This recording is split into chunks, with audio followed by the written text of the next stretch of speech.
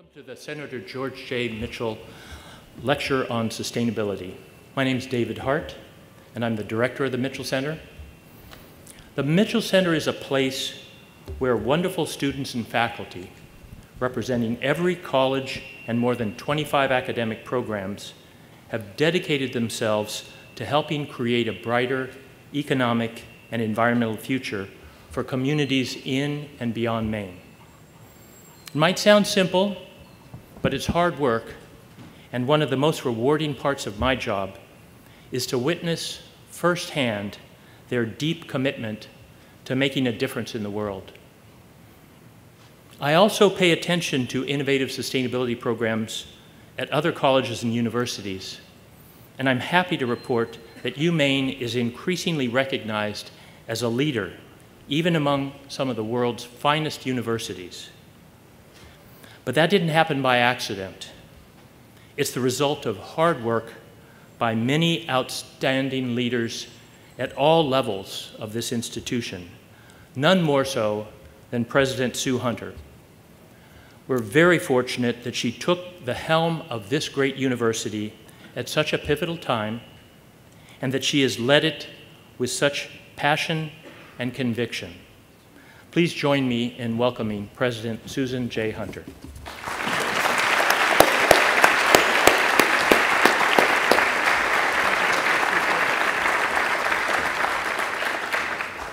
Well, thank you, David. Uh, very gracious comments, and I appreciate it. You know, we have to look around, and, and as we'll be talking today, I do have to give David a, a major shout out. The, the Mitchell Center on Sustainability Solutions has become you know, so uh, renowned for the work they do, and it comes down to the leadership of the center. The man that really came here to get it started is David Hart, and he deserves enormous credit for where that center has gone and the kind of work they do. So, David, thank you.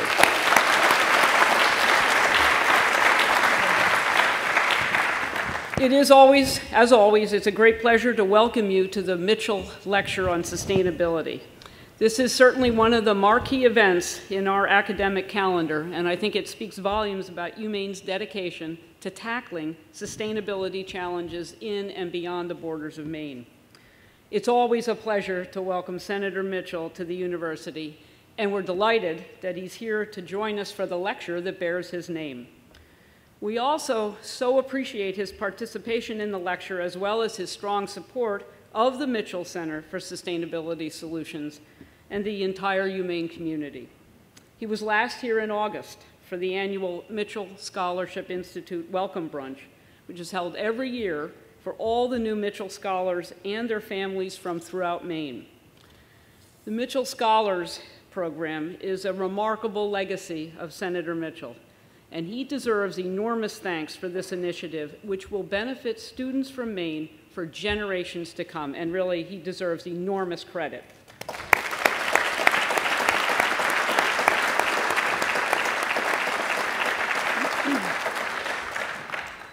In my long career at UMaine, it has been particularly exciting and gratifying to see the increasing role that sustainability research, education, and outreach are playing and the many ways our faculty and students have helped UMaine become a national and a global leader in this important endeavor.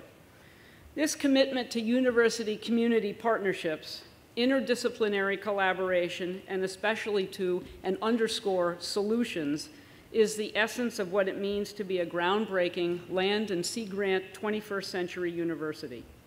Central to this commitment is the Mitchell Center's growing and I think already established reputation as an honest broker of credible, independent, nonpartisan information to help, to help create a brighter economic, social, and environmental future in Maine and beyond.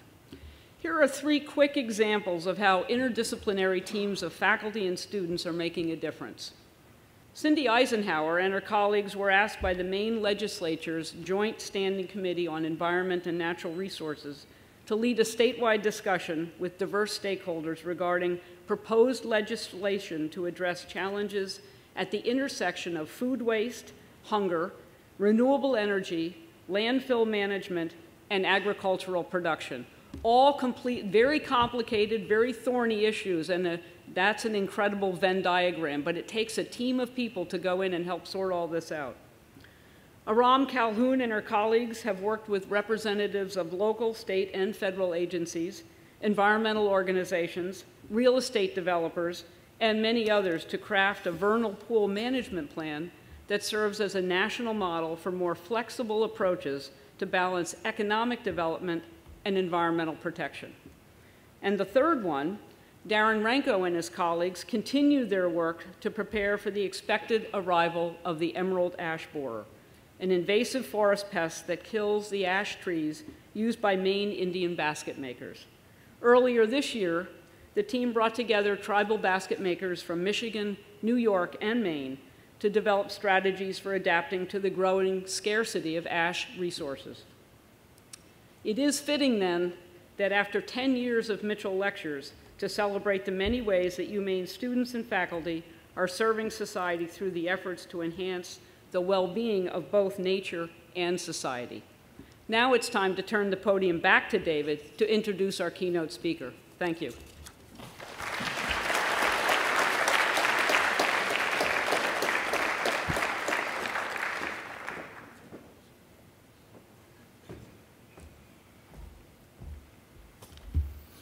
Before I introduce our speaker, I want to remind everyone that there will be a reception in the Collins Center following the lecture, and we hope you can join us. Um, it's a great pleasure to welcome Tom Dietz to the University of Maine, and especially to do so on this beautiful day in the middle of one of my favorite rivers in the world, here on the traditional lands of the Penobscot Indian Nation. Tom has had an amazingly productive career, particularly via his focus on strengthening the use of science in decision making. In your programs, there's a brief summary of his accomplishments, and there's much more about him on the web. So I'm going to focus on some of the things that aren't on the web. Tom grew up in a blue collar family in Ohio, America's heartland, and he graduated from Kent State University in 1972 with a bachelor's degree in general studies. And that information alone says a lot about who Tom is. First, a degree in general studies. What a great idea. At a time when the world seems to be overflowing with specialists in one field who find it difficult to communicate with specialists in any other field, we need people who can help span boundaries between academic disciplines and between scientists and diverse stakeholders, including decision makers. And if you ask Tom's colleagues, and I have, about his strengths, one of the things they emphasize first is his broad training in both the social and natural sciences and his ability to connect with people and connect ideas. Now, for some of you, thinking about the time period when Tom attended Kent State will immediately bring to mind the student protests against the Vietnam War that were sweeping across our country, and the four unarmed Kent State students who were shot and killed by the National Guard on May 4th, 1970. Twenty years later, Tom wrote a profound essay in which he reflects on what he calls the spring of 1970. Each year on May 4th, Tom seeks out a quiet place in the natural world to reflect on those events and how they've shaped our world. It's clear that that experience deeply influences thinking about the importance of community and the need to build broad based social movements. A year earlier, in 1969, the Cuyahoga River, which flows right through the city of Kent, caught fire in Cleveland, a short distance downstream. The Time magazine story about the fire reported that the river was so polluted with oil and other contaminants that it oozes rather than flows. And that was one of the galvanizing events that launched the first Earth Day in 1970. This experience also had a powerful influence on Tom's thinking about environmental issues and the environmental movement. I first met Tom when I entered the PhD program at the University of California at Davis. Davis had one of the largest ecology graduate programs in the world, and it didn't take me long to realize that Tom, who had arrived a couple of years before me, was among the most talented and dedicated students in the entire program. Even then, Tom was focused on the important role sci that science can play in decision making, but not necessarily in the context you might have expected. Davis had and still has the nation's leading research program focused on winemaking. Ed Vine, a fellow student, recently reminded me that Tom, in his spare time, was conducting pioneering research on the wine preferences of students. His wine tasting parties, and I think he might have called them experiments, were legendary among students, and I'm sure helped him hone his skills in experimental design, statistical analysis, and perhaps even the creation of social capital. I still regret that I was so busy uh, studying at Davis that I failed to participate in this innovative form of what might, what might now be called experiential learning. After Tom finished at Davis, he went on to play many leadership roles, and still does, in the scientific community, especially via his work with the National Research Council, some of which he'll talk about. He has also collaborated with many past Mitchell lecturers, including a long partnership and warm friendship with uh, Elinor Ostrom, the first woman to receive the Nobel Prize in Economic Sciences, who was here in 2010 to present the Mitchell Lecture. Please join me in welcoming Tom to UMaine.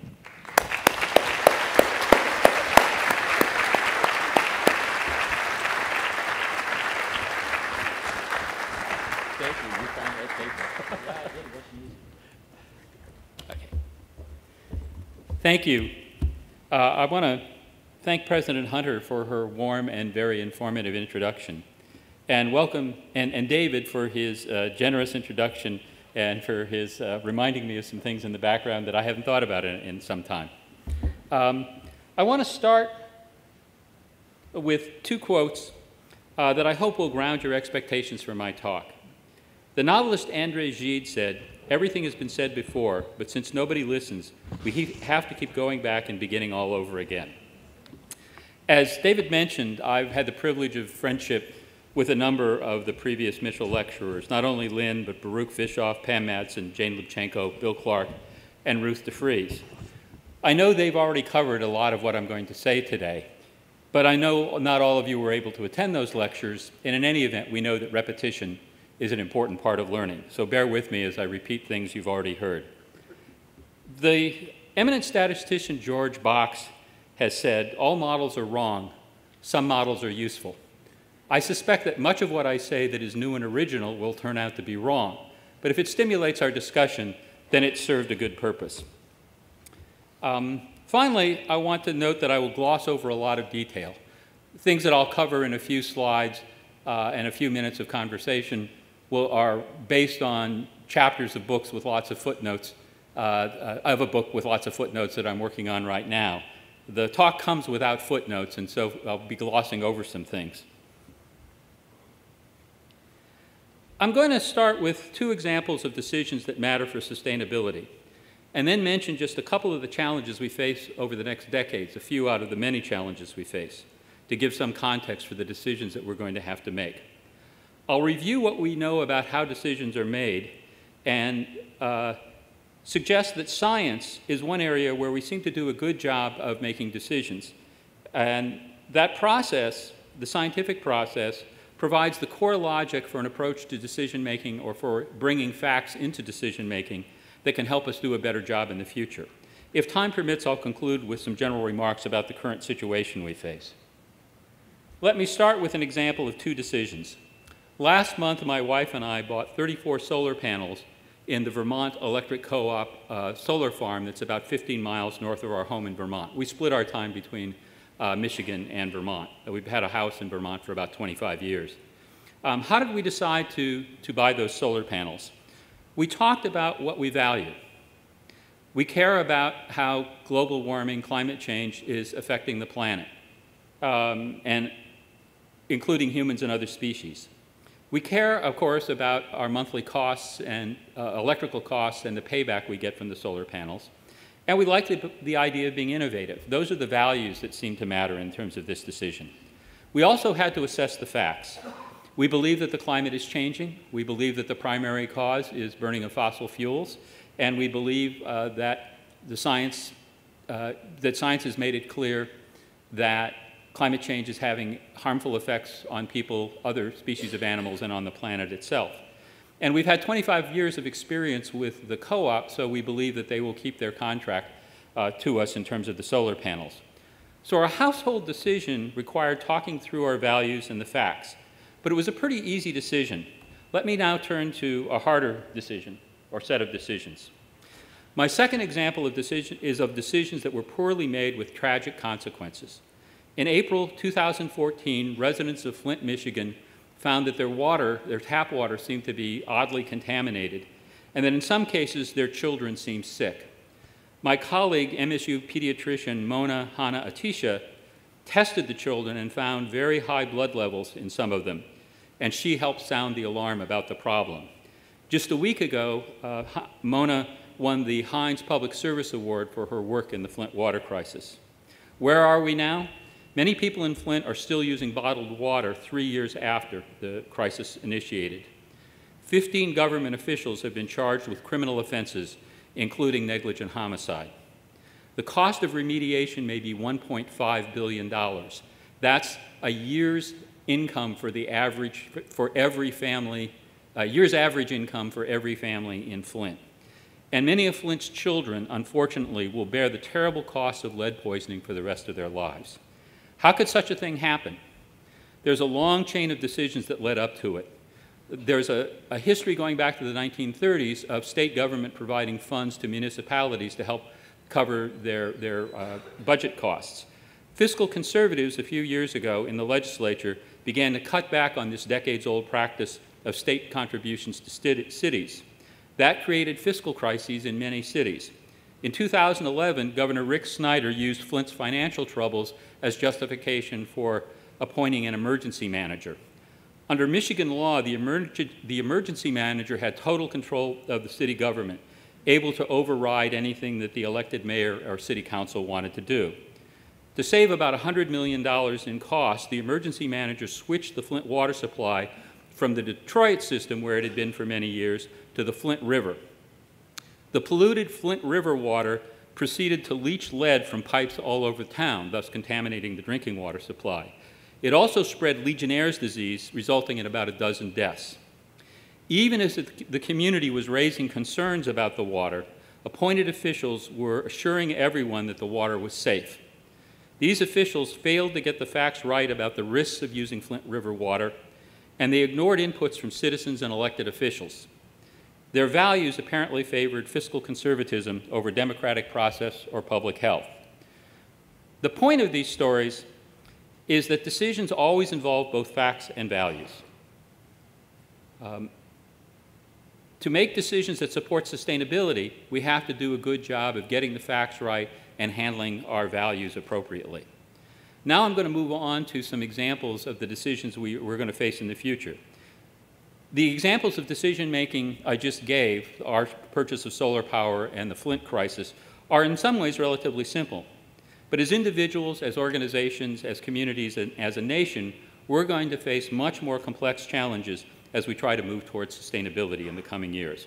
Mentioning a few of these upcoming challenges will give a sense of, the, of, of what we're going to have to address. Climate change, of course, which motivated us in part to buy the solar panels, is part of global environmental change. The changes that we're facing are unprecedented in human history.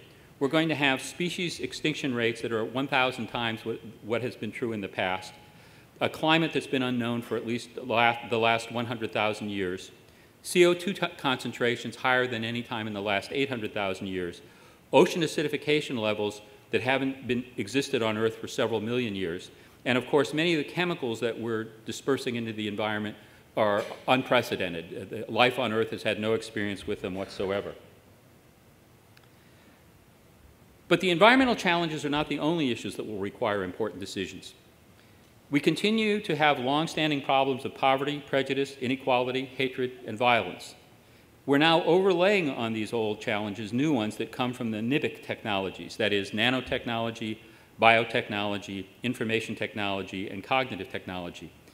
As Senator Mitchell has noted in a talk I viewed online, the impacts of these technologies will be at least as great as those of the Industrial Revolution. Um, just by coincidence, yesterday going through the airport, the Financial Times had, I know you won't be able to read this, uh, that had a, a header up here that says, Robot Rust Belt, smart machines will hit some cities very hard. And the current issue, The Economist, uh, the cover story is Nowhere to Hide, What Machines Can Tell You from Your Face. So this is recognition of how uh, artificial intelligence technologies are going to be transformative. Um, of course, these new technologies will be able to do wonderful things to enhance human well-being and the well-being of other species. We'll be able to eliminate many diseases. We'll probably be able to produce the food, energy, and materials we need with minimal impact to the environment. We can probably move away from some of the worst problems with factory farming. And there are probably uh, benefits from these technologies that we can't even imagine yet. But these, these technologies will also confront us with very difficult decisions. Understanding the facts of what is happening as these technologies unfold is daunting. The challenge to our values may be even more daunting. Let me point to just one aspect of these technologies. The biggest advance in artificial intelligence may well be the ability of emerging AIs and robots to make complex decisions on their own without direct human intervention. This is what gives them the potential to replace jobs that involve a lot of decision making, ranging from cab and truck drivers uh, through accounting, diagnostic medicine, and potentially even a role for robots in combat. We will have to decide how to deal with that job displacement. Even if new jobs are created, as has often been the case when new technologies emerge, it's not certain that those jobs will be available to those who have lost jobs uh, that have been displaced by artificial intelligence. And we also have to be aware that artificial intelligences will be making ethical decisions. Self-driving cars have to decide between protect, protecting passengers and protect, protecting pedestrians. Combat robots may have to make kill decisions. So given those challenges, it's useful to think about how it is that we actually make decisions. This is a major topic in social science research, and I'm going to summarize it very briefly. Danny Kahneman, who won the Nobel Prize in Economics for his pioneering work on decision making, says that we have two ways of making decisions as individuals, fast and slow. Sometimes these are called uh, system two and system one, or affective or cognitive decision making. In slow decision making, we are a bit like Mr. Spock in Star Trek, or the rational actor model of economic theory. We consider all the outcomes and how they influence what we value. We consider the probability of each outcome and discount outcomes in the future relative to those in the present. Thus, we combine these, then we combine these analyses that, to make decisions that, in the jargon, maximize subjective expected utility. We sometimes impose this logic on government agencies when we require them to do benefit cost analyses before making decisions. There's a lot to be said in favor of this kind of decision making, but the Flint water crisis also shows some of its weaknesses. It's very easy to ignore some outcomes of decisions. This may be because we simply don't know the facts, we don't know what will happen or it may be because we're focusing only on a narrow set of values, the short-term economic benefits versus long-term impacts on the environment or human health.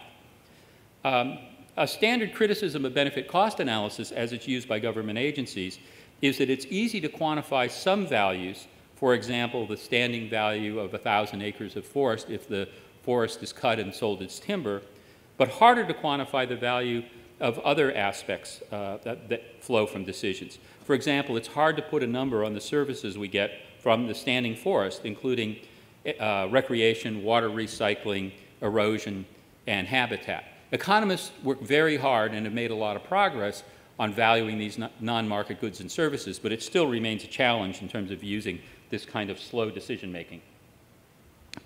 Fast decision making uses shortcuts that are called in the jargon heuristics and biases. They make life simple we don't consider all the alternatives, just the ones that are easy to think about or that are most prominent or that are made most prominent through advertising and other mechanisms. We rely on subtle cues about the situation. We badly mess up handling probabilities. That's how casinos and the lottery make their money. We underestimate size differences in magnitude of numeric quantities. For example, most consumers are pretty bad at knowing how much energy or water are used by different appliances in the house. We have trouble seeing gradual changes that accumulate over time. These shortcuts make life practical. They probably served us well for the 90 to 97 percent of human history that we spent as, food foragers living in groups of a few dozen people. But they can lead us astray, and they're very subject to manipulation. Appealing to our decision making shortcuts is the essence of much political uh, persuasion and much consumer advertising. We are very prone to what social scientists call biased assimilation or motivated reasoning. We are more likely to accept new information that is consistent with what we already believe, and we let our values influence our beliefs about the facts. If I hold pro environmental values, then I'm much more likely to accept information that says climate change is causing problems. If I hold values that respect tradition or are largely self interested, I'm much less likely to believe those things about climate change. When we look at interactions with other people and our ability to make decisions as a group or as a nation, even more problems arise. We engage in what is called homophily. We tend to hang out with people who think the way we do and avoid those who hold different views. Clique formation. Both homophily and biased assimilation are natural, natural, reasonable tendencies. But when you combine them in politics, they can lead to a lot of problems. The groups that form due to homophily have reduced diversity of opinion within them and become more and more different from other groups. Aaron McCright, with his collaborators, has shown that the gap between what conservatives and liberals believe about climate change has grown over the years. This is the graph in the lower right-hand corner, uh, with conservatives in red and liberals in blue, and those are uh, changes in beliefs over time. In general, environment has become a highly partisan issue. Overall, Congress has become more polarized, and that's the graph at the left with Democrats in blue and Republicans in red. Uh, the first column, uh, I'm having trouble reading it myself, is I think the House, and the, right, the, sec- the first column is, is the Senate, and the second column is the House. And what you can see is that overall, uh, Republicans have become more conservative, while Democrats have stayed in roughly the same ide- ideological position. Then, on top of this, we have the algorithms that social media use to bring things to your attention they undoubtedly exaggerate this tendency uh, towards reinforcing beliefs you already hold and not acquiring new information. Just as movies are recommended based on what we say we like, we get exposed to new information in general based on what information we already seem to like in, in terms of what the algorithms find in looking at our patterns of viewing. I'll say just a few words about values, which is a major area of research in social psychology. Values are the general goals that people uh, strive for in their lives. Among the most important are self interest, support for tradition, openness to change, concern with the environment and other species and the biosphere itself, and concern with other humans. That is, altruism. Values seem to form fairly early in life and are, they change very slowly. They're closely related to our identities, who we consider ourselves to be. So if I tell you you're wrong about the facts, you may not like it, but there's at least a basis for some conversation there. If I tell you that your values are wrong, that's a pretty threatening statement and maybe the end of the conversation. As a result, we have a lot of difficulty having reasoned discussions about differences in values. Indeed, my observation is that in a lot of conversations, if value differences surface in the conversation, the topic pretty quickly shifts to a discussion of the facts, and we avoid the issue that may be the underlying cause of disagreement. I still see many scientists using what's called the information deficit model to explain policy conflicts. Scientists too often assume that disagreement between their own position uh, as scientists on an issue and the views of the public come from a lack of understanding of the facts on the part of the public, an information deficit. So if the public could just learn the facts, that is, if they could get their minds right, to quote Strother Martin and Cool Hand Luke, conflicts would be resolved. But we know that many, perhaps most policy conflicts grow out of value differences. Getting the public to agree with scientists on the facts may be necessary to resolve policy conflicts, but it will never be sufficient. Let me move to a parable. Uh, this is trying to think about how we could do better in terms of handling facts. Um, let me offer an area where we seem to do very well in making decisions about facts. The research on how we make decisions and the problems of polarization is the result of the last few decades. But the idea of polarization is ancient. Consider the parable of the blind observers and the elephant. The story is often attributed to the Buddha, and it appears in many world religions. The idea is that a group of blind scholars each examines an elephant and reports on what they have found. One standing near the head says, This is a pot. Another standing near the ear says, This is a fan. Yet another near the tail describes it as a brush, and so on. Uh, one wonders what the elephant is doing through all this. We sometimes forget that the world is full of other beings that have lives and agendas of their own.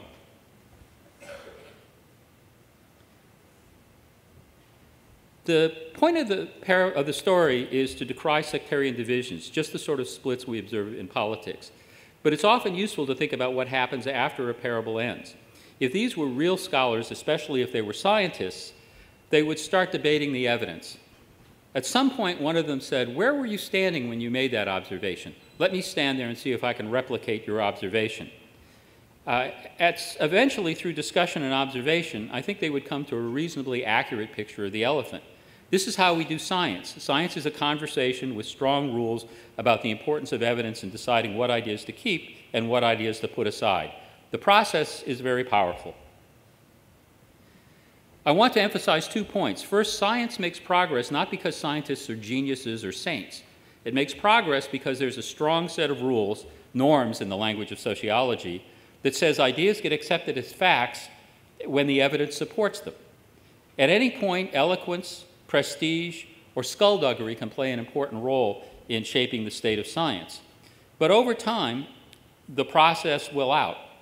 We, individual scientists are certainly subject to the same foils as the rest of us are in decision making, but we correct for this by training in methodology. We learn to think slowly as scientists to avoid the pitfalls of the shortcuts and biases that we use in day to day life. And we insist on broad communication to fight against the formation of the kind of cliques that dominate politics too often. We don't do this perfectly, but we work hard at it. The second point is that science is an evolutionary process and it needs diversity. Diversity in science brings in many viewpoints and makes it more likely that we're going to get at a good approximation to reality, to get the facts. Diversity breaks down the formation of cliques. We need diversity in the kinds of disciplines that are applied to a scientific problem. We need diversity in the kinds of people who are doing the science different gender identities, different races and ethnicities, different social class backgrounds. And when dealing with public issues, we need perspectives in the discussion that are not grounded in science. I'll return to this point. So, based on this model of how science works, um, there are some ideas about how to assess the state of the science to get the facts right for use in decision making, particularly public policy decision making. Um, for about 20 years, the U.S. National Academy of Sciences has recommended a, an approach to linking science to policy, a way of getting the facts right. Scientific analysis in this process is combined with deliberation that includes both scientists and interested and affected parties, the stakeholders. The Academies has called for using this approach in dealing with such tough problems as assessing environmental and health risks, climate change, managing wild horses and burros, and by the way, that's probably the most controversial issue on this list. People care passionately about horses and burros, but have very different values about what we should do with regard to them. Uh, a variety of applications of biotechnology, including modification of the hu human genome and gene drives, and a recent report on science communication. And by the way, if you're interested in science communication, I recommend that report um, in the bottom right to you. It's available online at the National Academies Press. It's short and does a nice job of reviewing the uh, literature. This approach of melding scientific analysis with deliberation helps us get the right science. Interested and affected parties can discuss the, what matters to them, their fears, their hopes, and so on. Hearing this, the scientists can try to do analyses that clarify those issues. As a result, scientific analysis addresses issues that will influence decisions. The process of broad discussion also helps to get the science right. We must often take science developed in one context and apply it to another. Learning how to take knowledge from one watershed to another, for example, or from laboratory studies of toxicity to assessment of health threats to children in Flint. Local insights can help understand how to apply general scientific results to a local context. In the case of Flint, if those making decisions had respected the community's expertise about what was coming out of their taps, tragedy might have been averted. But perhaps the most important outcome of this process is that it helps to build trust and mutual understanding between scientists and interested and affected parties. Science remains among the most trusted institutions in the United States. But when we move from science as abstraction to the specific details that we need to inform policy decisions, the public correctly understands that uncertainty increases. And here I quote my colleague and dear friend Gene Rosa, who is one of our leading thinkers on risk. The typical quote, the typical objections of laypersons then is not to science per se, but to institutions that attempt to maintain a monopoly on knowledge claims and which sometimes misapply abstract science to the peculiarities of local settings, end quote. The linked process of analysis and public deliberation helps both scientists and stakeholders come to understand the strengths and limits of the science being applied to a specific problem. Indeed, a major motivation of this approach comes from helping us understand risk and incorporate it into decision making. If, I, uh, as I noted a few minutes ago, our default uh, way of handling with risk and uncertainty is very problematic. We usually get it wrong. So that's one of the reasons this process is so important is when we're dealing with scientific uncertainty. I should also note that linked analysis and deliberation incorporates multiple forms of expertise. Um, we need scientific expertise about the subject matter, of course. We need expertise about processes and decision making that can help design effective processes. Community expertise, which is often called traditional ecological knowledge, helps us get the science right. Um, Political expertise brings an understanding of conflicts, assumptions, trust, and informal agreements that matter for making policy recommendations. And everyone brings values to these processes, but we can benefit, from having experts in the process who understand how to make value trade-offs and how to help people better articulate their values, including uh, ethicists. Of course, there are, those, there are those who are skeptical of this approach to public and to public participation in general. After all, I've just discussed the many pitfalls in our decision making. Wouldn't this, those overwhelm this kind of process? So, being scientists, we decided to look at the evidence by conducting a study through the National Academy of Sciences. We reviewed about 1,000 studies in the literature. We talked to practitioners and members of the public who had been active in such processes. We commissioned case studies of public participation processes that have been repeated many times, such as Superfund site remediations and uh, Forest Service forest planning. The report was ex then examined by 20 peer reviewers. That's compared to two to four who examined the standard scientific paper. I want to read the conclusion, which is a statement not by me or by the committee, but by the National Academies of Science. When done well, public participation improves the quality and legitimacy of decisions and builds the capacity of all involved in the policy system. We emphasize in the report that there's no cookbook for designing such processes. Rather, each situation has to be carefully diagnosed, and we offer some diagnostic, diagnostic questions, and a process designed in cooperation with the participants, drawing on insights both from the scientific literature on participation in decision making and the experience of skilled negotiators like Senator Mitchell. There are many examples where these kinds of processes are used successfully, not just for assessing the facts, but for making policy recommendations or even making decisions. In some literatures, these approaches are called co-management or negotiated rulemaking. The same basic principles apply, but special care has to be taken to be competent in how values are handled. This includes working hard on fairness in both process and outcome. Increasingly, scientists will find themselves participating in such processes. For those of you who are pursuing a career in science, I think you should think about these kinds of processes in ways in which you can bring your science uh, into helping build solutions to serious societal problems. Um, I think the future of science communication is not in finding scientists who can be media stars. Rather, it comes from building organizations that can bridge between interested and affected parties and scientists using these linked processes of analysis and deliberation. You here at the University of Maine are fortunate to have the Mitchell Center for Sustainability Solutions. From what I have learned, the center is one of the best examples of integrating science into decision making I know of in North America. A variety of other centers at very prestigious universities could learn a lot from what you're doing here. You have a source of innovation in how to do this that will lead you to the next generation of linking concerns, uh, linking science with societal concerns. I'm particularly impressed by the fact that the agenda of the center includes not only doing the work, but also stepping back and reflecting on the work and doing studies that assess how well various approaches have learned, have worked so that we can learn from experience. At MSU, we're responding to the interest in doing research in Flint following the crisis with the Healthy Flint Research Coordinating Center. The MSU leaders for this center are faculty members who grew up in Flint and still live there. The center links researchers who want to work in Flint with members of the community.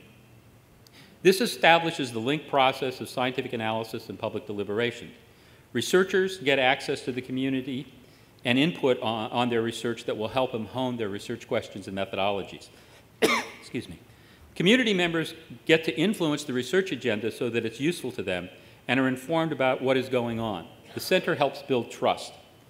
A key feature of the Mitchell Sustainability Solutions Center and the Healthy Flint Center and other successful efforts is that they learn from ongoing uh, experience.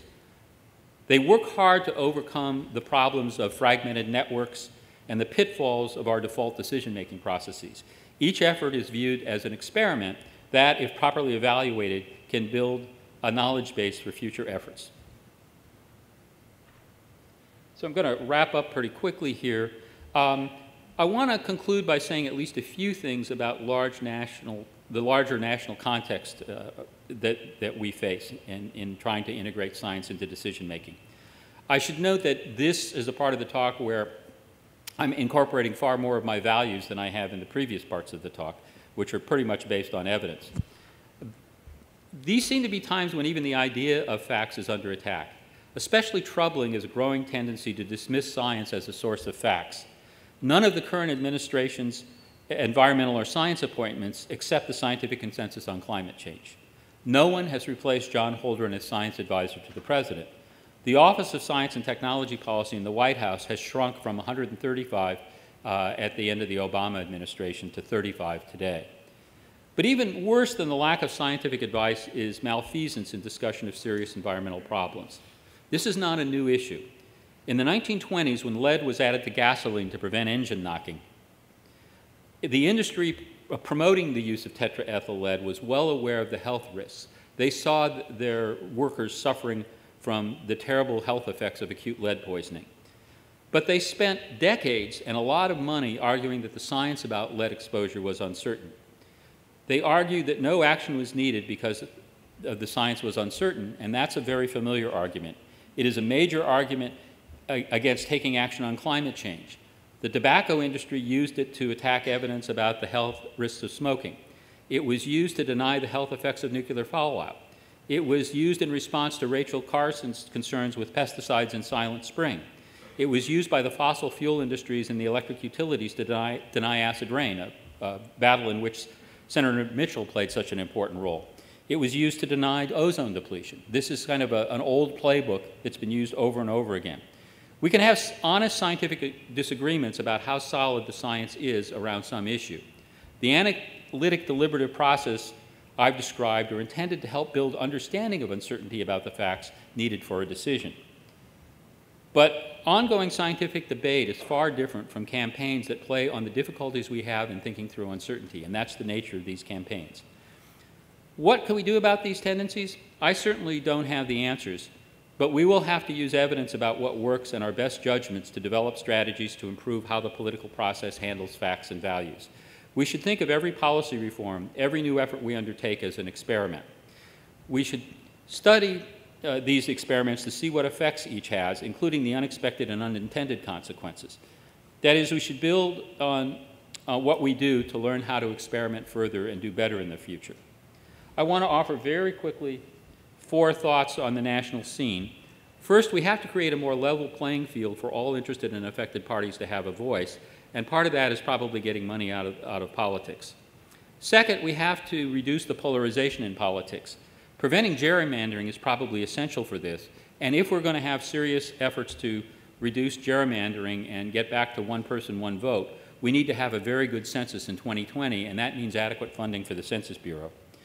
Third, I think we have to let elected officials know that we expect them to engage with and respect science. If an elected official says, I'm not a scientist, we ought to ask them, then where are you getting your scientific advice? Fourth, we should admit uncertainty about values.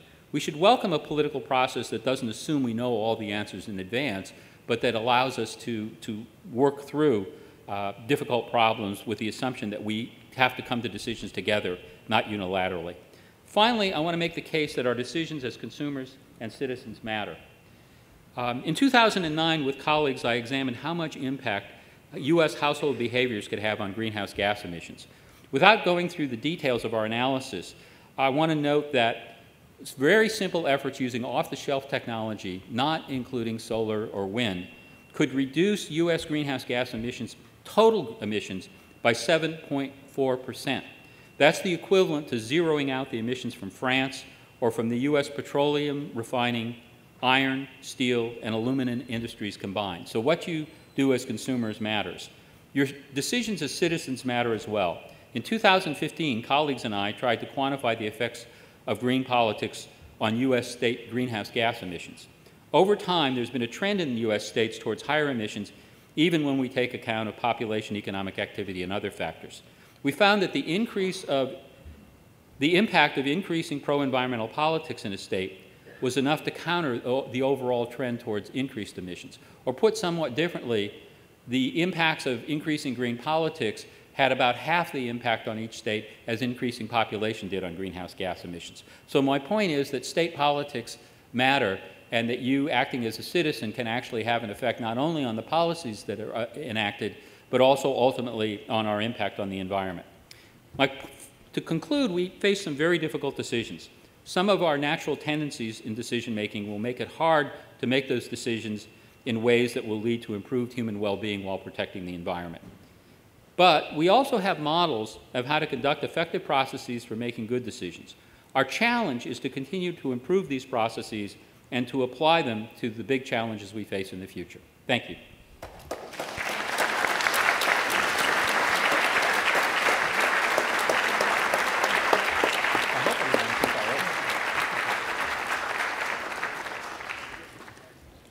So if you have a question, we have uh, Chris Hoffman and Josh Stoll with microphones in the aisles, and just, oh, sorry, uh, Andrew.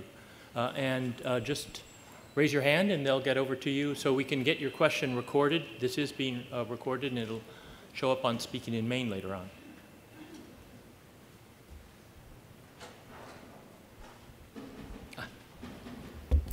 Hi, Yes. I'm Jim Lebrecht. Uh, Your uh, decision to take, uh, invest in solar over in uh, Vermont, uh, when weighed against uh, environmental factors in Vermont that are superior to even Maine, uh, may not be as good as a decision as you may think. Here in Maine, uh, we decided to invest in uh, heat pumps where we produce eight times the CO2 benefit uh, for the same dollar.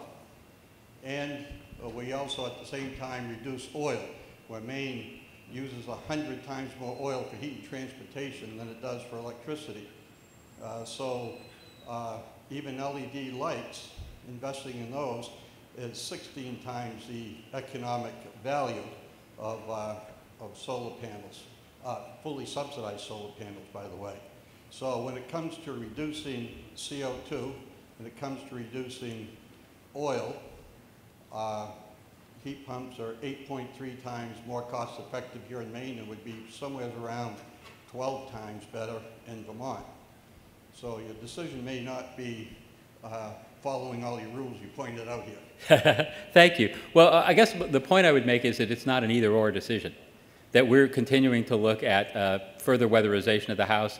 We actually were just talking about looking with a neighbor about looking into heat pump solutions um, and a whole variety of things. So what I would argue is, is, that the solar panels contribute, and it's sort of like the, the argument I made about uh, household uh, energy consumption and greenhouse gas emissions, that some people have looked at that 7.4% figure and said that's not going to solve the problem. And that's exactly right. No one thing solves the problem. We need a whole inventory of different activities. And, and, I think your point is well taken about heat pumps, and we continually need to think about what kinds of new technologies are emerging because what the best choice was yesterday or is today may not be the best choice tomorrow. So thank you. And for everybody, take a look at heat pumps as, as an alternative. Yeah. I, I can't see the audience very well from up here, so folks will, the folks with the microphones will have to pick people. the Flint, Michi- Michigan situation, why didn't the state, when they found out they were polluting people's homes with water, decide to go back and give them water from the same source they had been getting before? Uh, it's a very good question. The problem is, and I'm not a civil engineer, but I talked to the civil engineers working on this, that the corrosive uh, compounds in the river water had mobilized the lead. So it would take a long time for, even with a new water supply, for it to flush out. The problem wasn't that the lead was in the Flint River water, but that the water was corrosive. And so the engineers say, you know, eventually with enough flushing, that would work.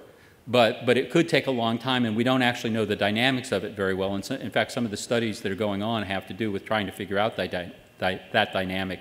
But also, there, there's the argument that that's a short term solution because we still have lead pipes all over the city. That's a heritage. So people are saying, well, part of the remediation is we need to get rid of the lead pipes, so this is never an issue in the future. So, but that's my understanding as, as So they still haven't done much of anything. Uh, what they're doing is going through sort of street by street and house by house replacing the pipes. Because the sense was, actually, I, they, they, I, I should take that back. They have switched the water supply. It's not back to Detroit, it's to another system that has less problem with corrosion. But they still feel like too much lead has been mobilized in the system now for the water to be safe for quite some time. And as you can understand, a lot of people in the community uh, are not about, the, uh, several government agencies, including the state DEQ, have said, oh, the water is safe now. You can imagine people in that community aren't about to say, oh, we believe you. the fact that you, you were misleading us for all those months, uh, we're, we're going to forget about that and trust you now.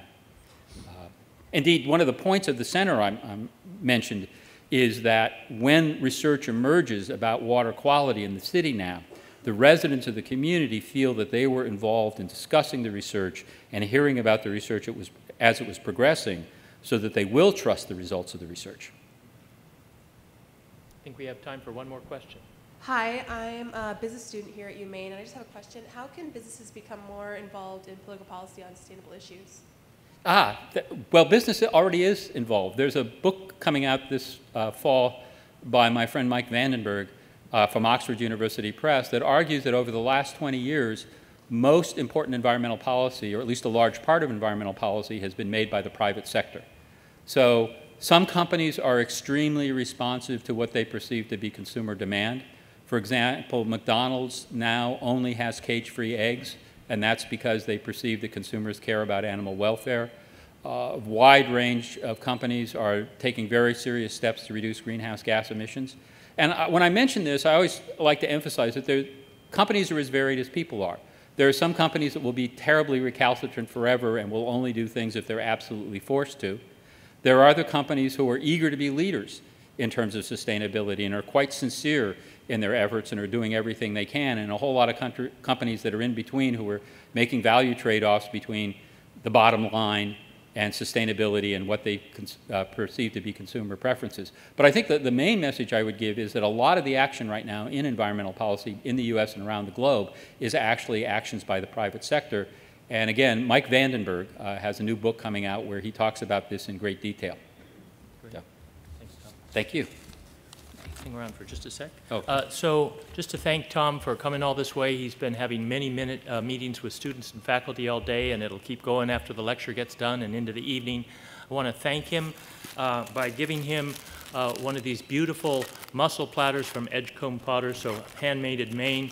Um, Mytilus edulis for those invertebrate zoologists out there. and uh, uh, also a really interesting, uh, uh, innovative industry in Maine in terms of uh, mussel aquaculture. So thank you so much. So thank you. This is, this is beautiful. Thank you. Great talk, Tom.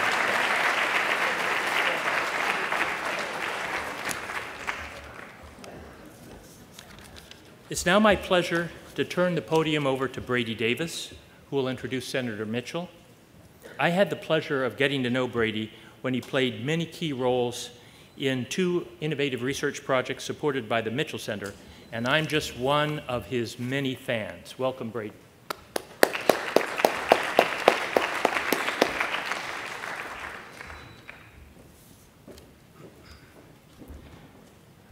Thank you, Dr. Hart. It is an honor to be here and introduce Senator Mitchell at the 2015 Mitchell Lecture on Sustainability. It is a special privilege for me to be here today because for the first time I am attending not as a student, but as a proud graduate of the University of Maine. And as a Mitchell Scholar, thank you. As a Mitchell Scholar, this opportunity is especially meaningful for me because Senator Mitchell has had a tremendous impact on my life. A few weeks ago, when I shared the news with my mom that I would have the opportunity to introduce Senator Mitchell, she took it as an open invitation to coach me on how to craft my remarks. When I came home a few days ago, I found her at our dining room table, hard at work with pen and paper in hand on Senator Mitchell's introduction. She assured me that what she had jotted down was very good, and to prove it, she began reciting what she had written. After only a few lines, however, tears came to her eyes, and eventually she had to stop. After a few moments, she explained that reflecting on the multitude of ways that Senator Mitchell has impacted my journey over the past few years was what made the tears well up in her eyes. I said respectfully that I wasn't looking to make anyone cry, and I thought I had better just write my own introduction. I decided to include that anecdote here because it gets to the heart of how truly influential Senator Mitchell has been on my life over the past four years. What I hope to make clear with this introduction is that Senator Mitchell has not just established scholarships and centers of research, but has created communities of caring people unified by shared visions and that are capable of having profound and lasting impacts on all those that are fortunate to be a part of them. I believe is an understanding for just how transformative these communities have been for me that brought tears to my mother's eyes. More than just financial assistance, the Mitchell Scholarship and the Mitchell Institute have served as academic and professional accelerators that have opened numerous doors for me, connected me to an incredible network of business professionals, and allowed me to form lifelong friends. Likewise, the Mitchell Center has not just been a place where I attended class, but granted me my first opportunities to engage in hands-on research, to explore vital questions about our planet, and to discover a passion for the study and practice of sustainability. As an undergraduate student, I was a research assistant on two separate projects focused on sustainable food systems.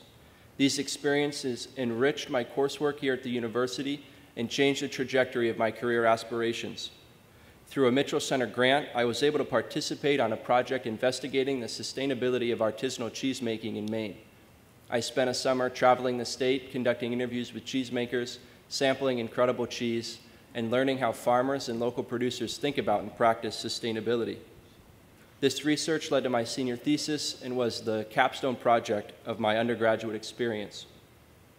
Senator Mitchell was behind the scenes at the most pivotal moments of my undergraduate career starting before I even arrived at the university and culminating in my very last assignment as an undergraduate student. His influence has extended even further as my first job opportunity out of college has come as a direct result of a Mitchell Institute networking event. And I feel it is critical to note that I am not the only young person to benefit from the many communities that bear Senator Mitchell's name. Since 1995, 2,732 students from high schools across the state of Maine have received the Mitchell Scholarship and gone on to pursue degrees at institutions across this country.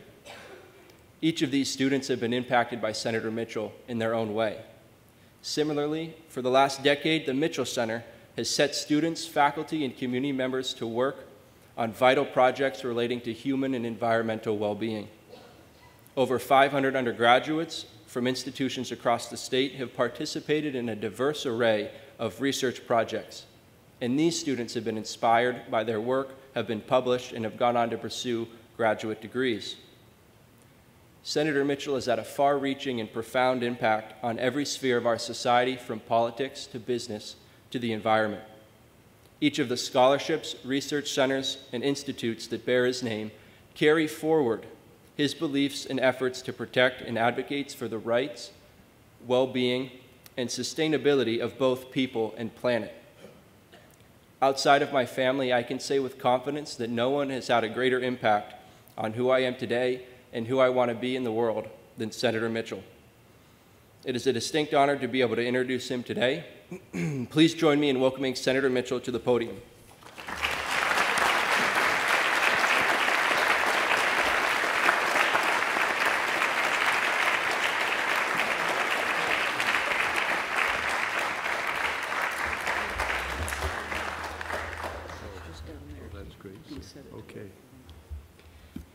Well, thank you very much, uh, ladies and gentlemen, for your presence here and for your warm reception.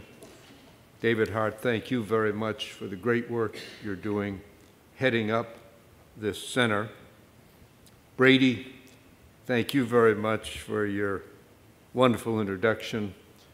Uh, one of my hopes when I established the scholarship program for Maine high school students was that it would help them develop uh, the aspiration, the skills, the energy to create a brighter future for themselves individually and their families and for our state. And so it's really gratifying to see Brady here as one of the more than 2,700 students that we've been able to help. He's embarked on an important career path.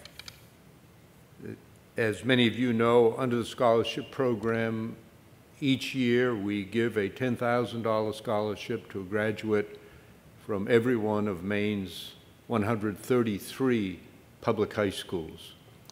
So far, we've distributed over $15 million to them. Most of them stay in the Maine educational system. They're free to go anywhere. Others go to colleges outside the state, and I'm pleased to tell you that the vast majority either remain in Maine or after some period of time uh, return to Maine and are making a great contribution to our state. So Brady, you represent uh, thousands of your fellow students, and I want to tell you, as articulate as he is, he is representative of our students. And so uh, thanks a lot, Brady. I also want to thank you.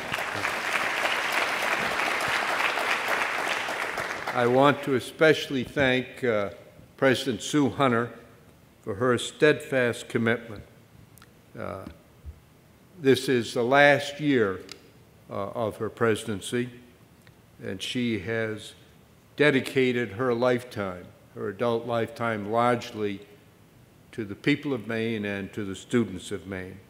And I'm especially grateful for her strong support for this Center for Sustainability and for the warmth with which she's greeted the several hundred Mitchell Scholarship recipients here at the university during her tenure.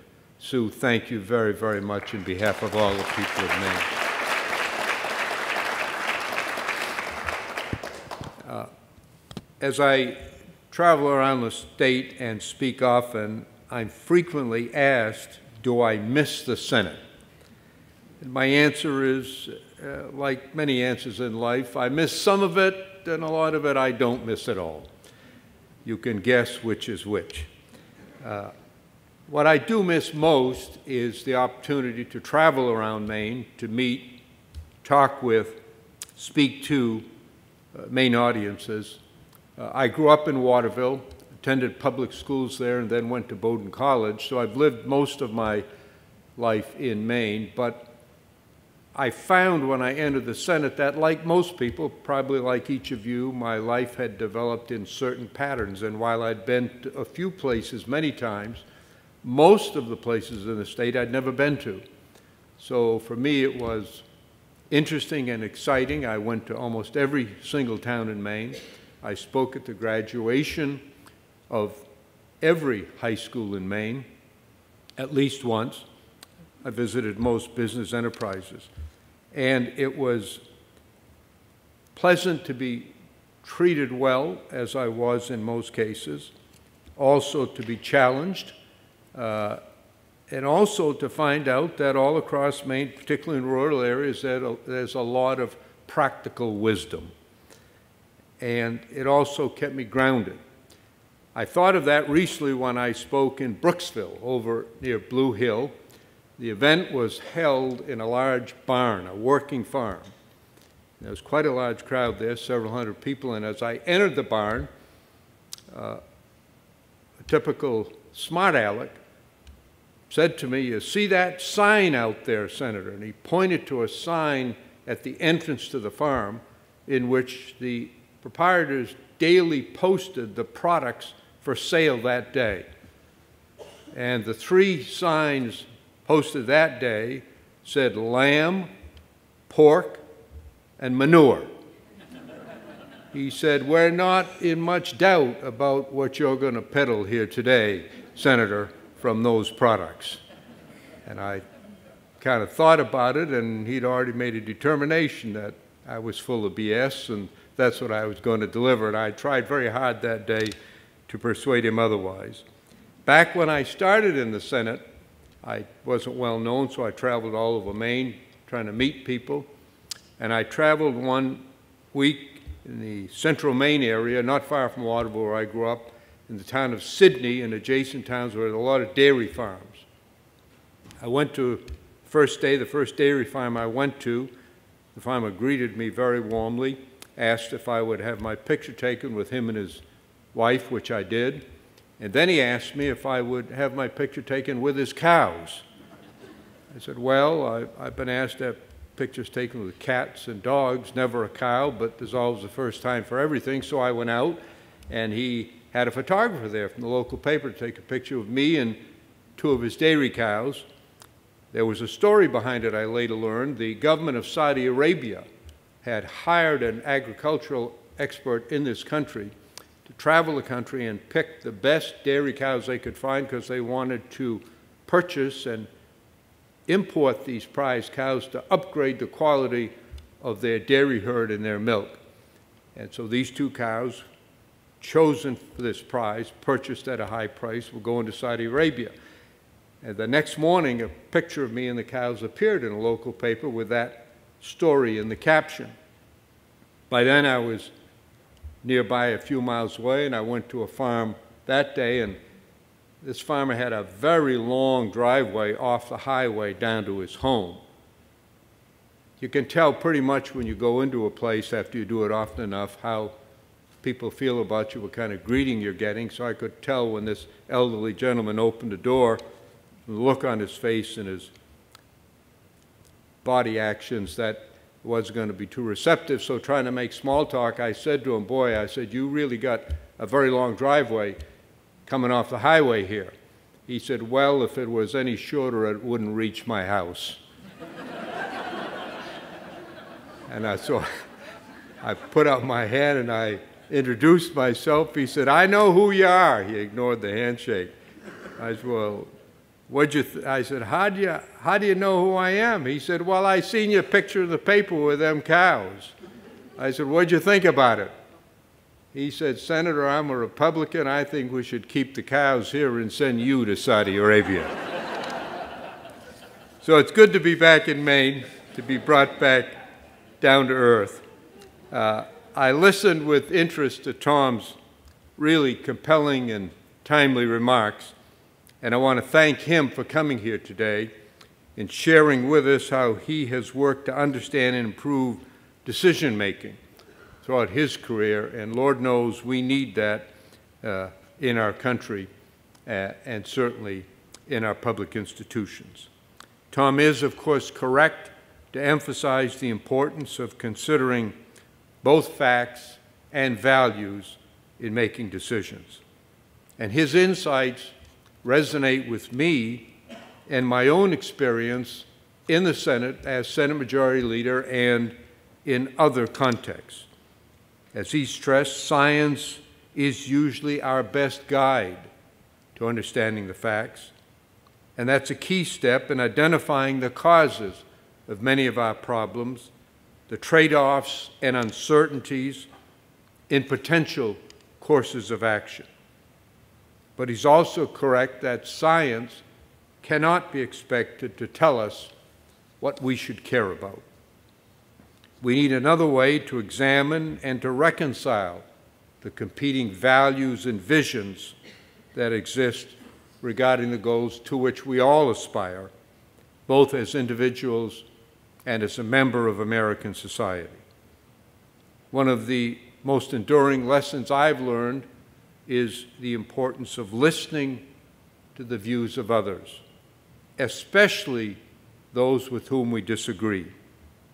First, to demonstrate respect for individuals and for their beliefs and values, but also, while listening, to search for potential areas of common ground as we look for answers.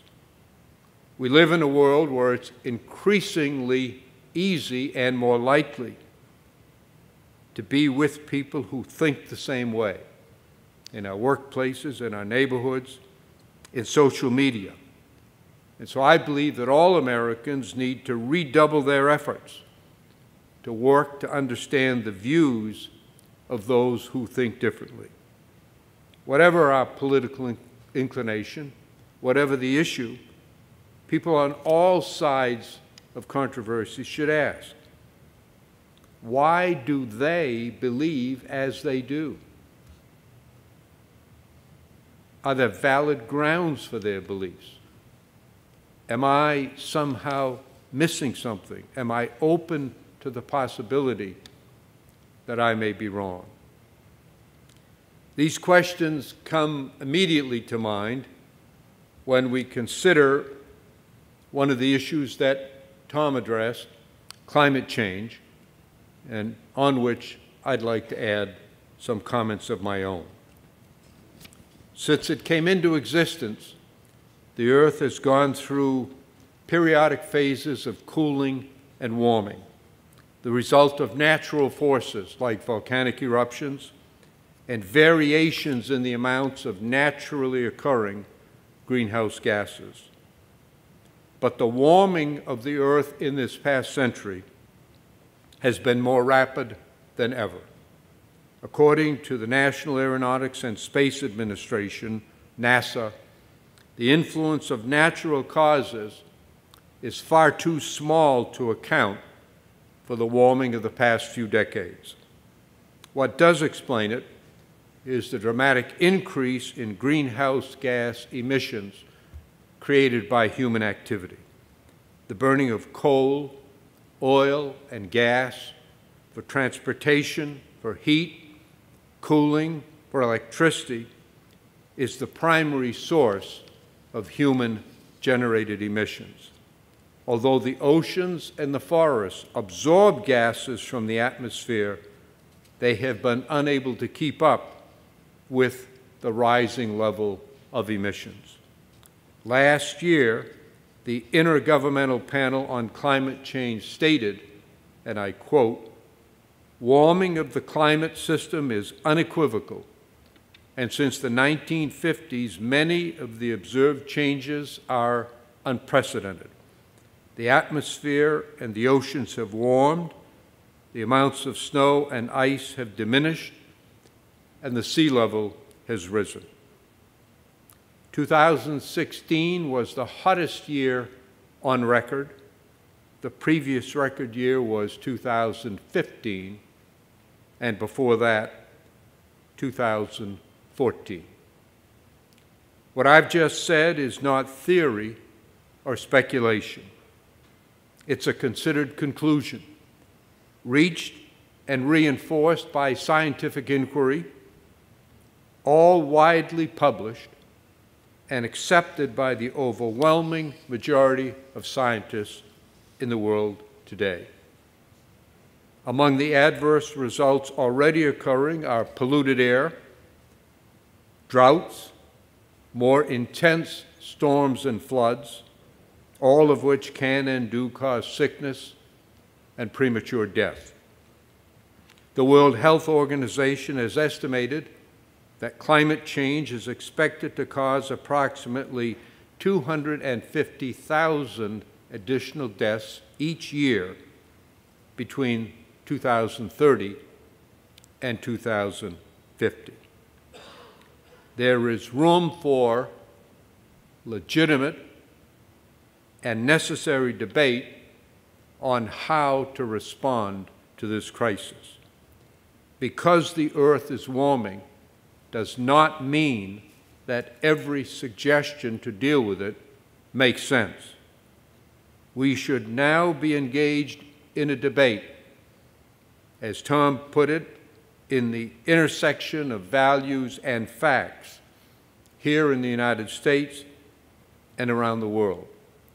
We should be assessing the benefits and the costs of many suggestions that have been made to deal with climate change. But that debate is not occurring largely because some leaders in our country insist that there is no such thing as global warming, and they oppose any and all efforts to deal with it. Those who now hold that view include, sadly, the current President of the United States, the Administrator of the United States Environmental Protection Agency, and many leading members of Congress.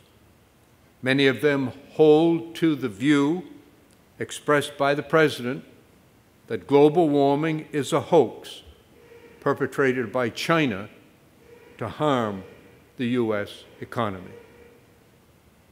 How is it possible for anyone to adopt a position so contrary to the overwhelming weight of scientific evidence? The denial of science is not just wrong factually, it's dangerous for the people of this country and for those of other countries. One of the difficulties in organizing an effective response to a threat like this is that it is and seems to many people so distant, so huge, so theoretical, that any action by one individual cannot possibly be of meaningful consequence. But to the people of Maine, this is not a distant threat. It is as real and as close as the nearby ocean. The Gulf of Maine, the huge body of water that is just a short drive from where we are now, may fairly be described as one area of ground zero in global warming. In 2015, the Portland Press Herald published a series of reports on the Gulf of Maine, the first of which began with this dramatic statement, and I quote Since 2004, the Gulf of Maine has warmed faster than any place else on the planet, except for an area northeast of Japan. And during the Northwest Atlantic Ocean heat wave of 2012, water temperatures hit the highest level in the 150 years that humans have been recording them.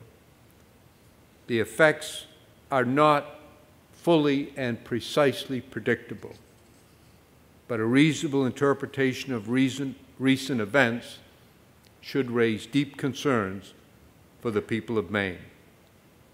The changes include the loss of entire fish stocks, the movement of other stocks to colder waters, in particular the lobster population. And meanwhile, invasive warm water species are entering the warming waters of the southern part of the Gulf of Maine. Time constraints here permit me to just touch the surface of this challenge. I urge each of you to pull up and read the Portland Press Herald series.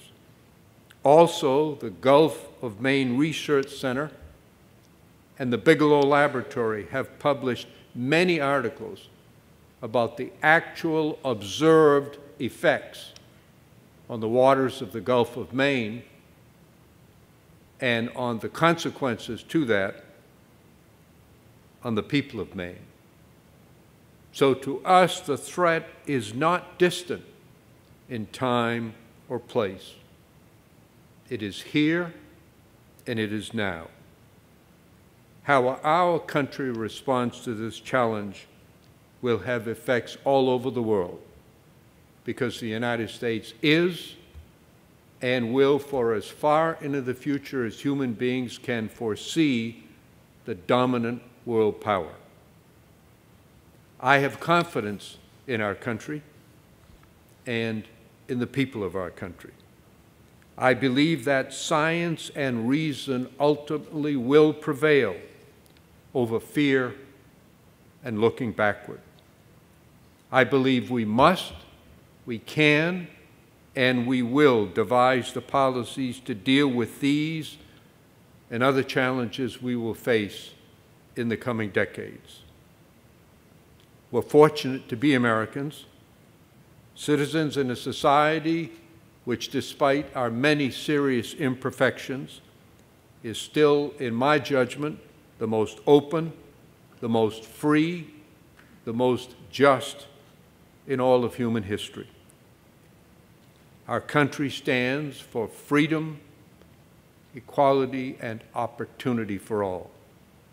That has made it possible for most of us in this room today to lead lives of relative ease, to some degree insulated from the harsh winds of life by our families, our education, our work, our resources, the webs of friendship and influence each of us has weaved over a lifetime. It's in our interest and theirs to make opportunity available to every American. To do that, we must first and foremost be true to our principles. Our democratic ideals distinguished our nation from the very beginning. They always have appealed to people around the world, and they still do. Our economic strength is unsurpassed. Our military power is the greatest that has ever been amassed in human history. They're necessary, they're important. But our ideals have been and remain the primary basis of American influence in the world. They're not easily summarized, but surely they include the sovereignty of the people, the primacy of individual liberty, our highest value, an independent judicial system, the rule of law applied to all citizens and crucially to the government itself, and opportunity for every member of society. None of us here, no American should ever forget that the United States was a great nation long before it was a great military or economic power. We recognize that all human beings and all human institutions are imperfect. We acknowledge that we are not always right, and we can never be perfectly consistent. But we can and we must work harder and better as individuals and as Americans to live up to our principles, especially to more fully realize the aspiration of equal justice and equal opportunity for all. In our society, no one should be guaranteed success, but every single one should have a fair chance to succeed. From the experience of our daily lives, we know that full equality remains an aspiration. We must raise our actions to the level of our aspirations. Every child in our society should have the care, the early development and education to enable them to go as high and as far as their talent and their willingness to work will take them, whatever their family circumstances. Our goal should be a society which encourages striving, celebrates success, is conducive to innovation, and enables us to benefit from the talent, the energy, and the skill of every single American. That's our challenge. We should make it our destiny. Thank you all very much for being here today.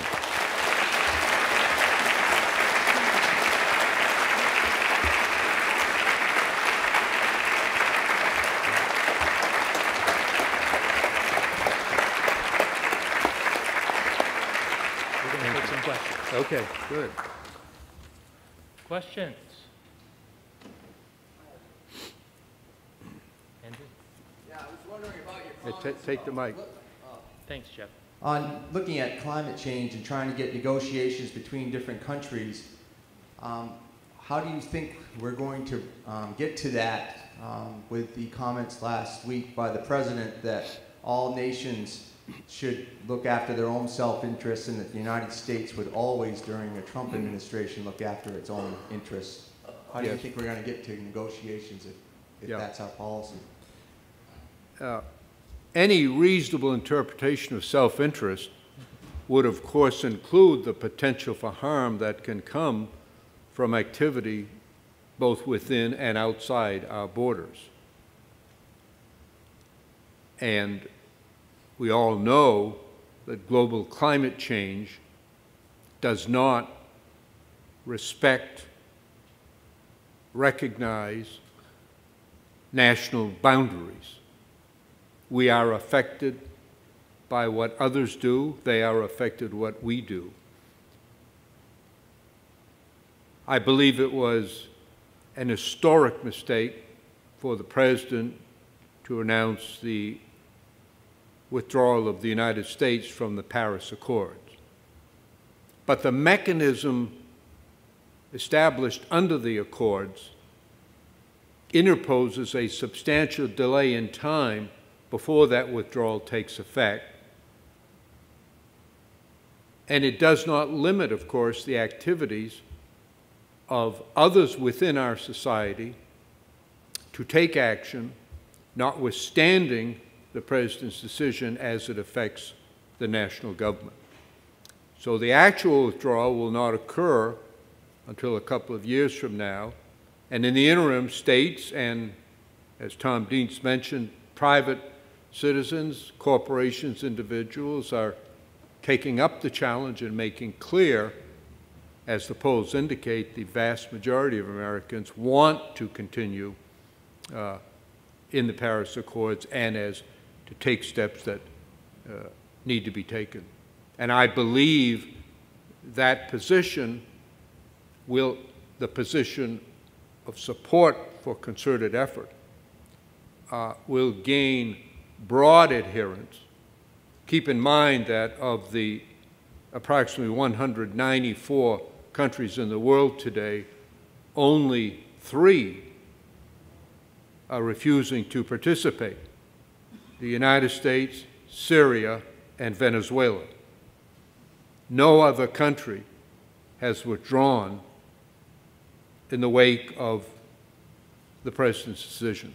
So I believe it's up to us as individuals, as citizens of our state, as members of economic entities, shareholders in corporations, what- whatever role we have, we play in life, to do what we can to act in accordance with our beliefs and with the reality of science. There once was a time when large numbers of people in the world, perhaps the majority, believed the earth was flat. There once was a time when a lot of people, perhaps the majority, believed that the sun revolved around the earth. Over time, science is, and there's still, according to recent polls, about a third of Americans uh, don't believe in evolution.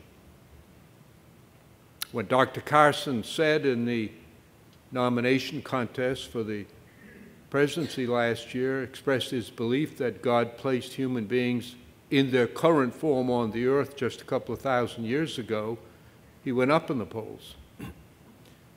So it takes a long time uh, for science to be established. There were many who doubted gravity after Newton uh, reached and published his conclusions. But I'm confident, I'm certain, perhaps not in my lifetime, but that it will become more widely accepted as the dangers and the adverse consequences become more apparent as they are increasingly. So I'm, I'm hopeful for the future. I'm hopeful about our country, and as I said in my remarks, human, all human institutions are fallible, all human beings are fallible. We've made some tremendous national errors in our history. Uh, but in almost every case, we have ultimately come to not recognize them, acknowledge them, and act to correct them. And I think that will happen in this case. Andrew, you want to come oh. down and get Pam Pearson here? Oh, this one. I remember the time when you were majority leader in the Senate, Senator Mitchell, when you withdrew the Hillary Care bill. And I wanted to see if you had a couple comments on what's going on in the U.S. Senate at the per- current time about trying to repeal Obamacare. Yeah. While I strongly disagree with both the procedure being used and the substance of the legislation being considered, the, when I was part of the effort to reform our healthcare system, which failed, we went through the normal procedures of the Senate. Bills were introduced, they were referred to committees, committees held hearings, dozens of hearings, hundreds of witnesses representing every conceivable point of view testified on the legislation.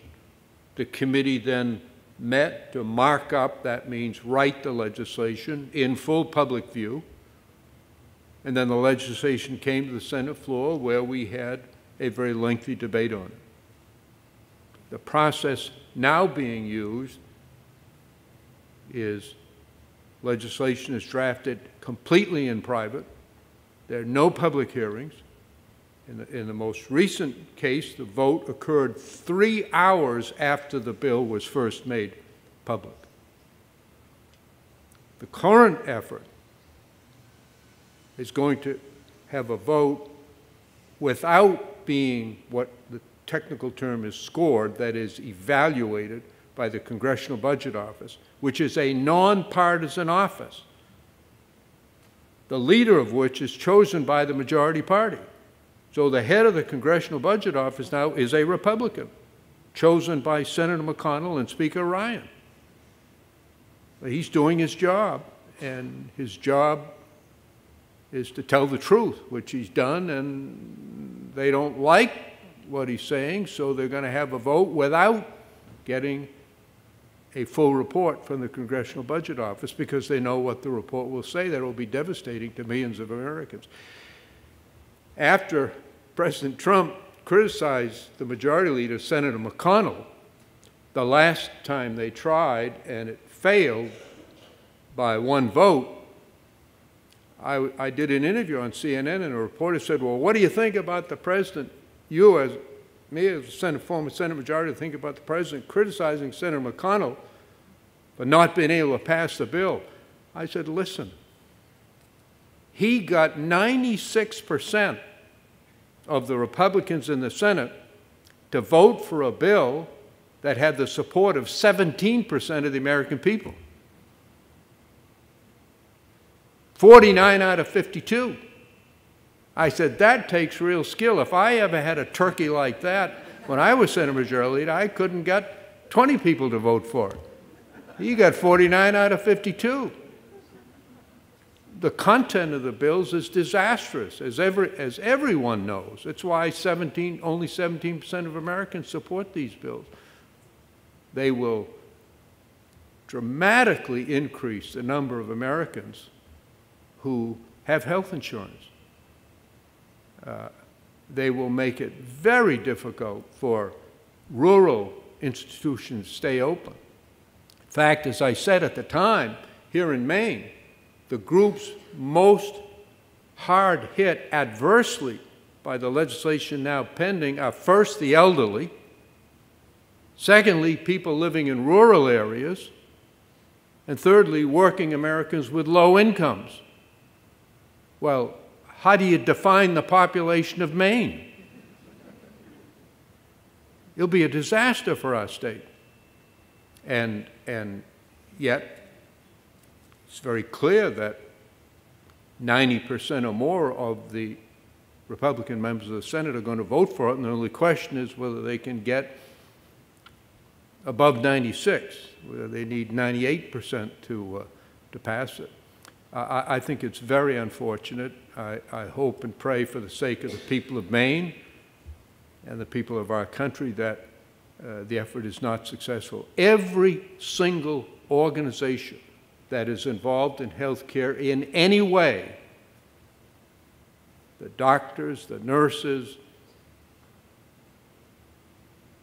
the insurance companies, everybody has expressed opposition to this legislation on the grounds that it will be disastrous for our country and for, for the people of our country, and yet it's being pursued for a purely political goal, which I think uh, is very unfortunate. Other than that, I, I don't have any strong feelings on it. We've got a gift for you. Hang on. Okay.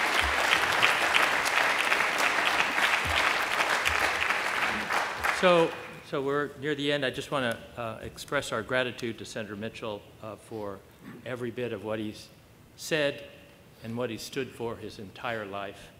Uh, I want to present to you a book of photographs of Maine in the early 20th century from an amazing collection of more than 15,000 glass plate negatives called Maine on Glass. I actually had the pleasure of meeting one of the book's authors, uh, Kevin Johnson, who's a curator at the Penobscot Marine Museum, and I can assure you you're in for a treat. Thanks Thank so you. much. Thank you very much, David. Thank you.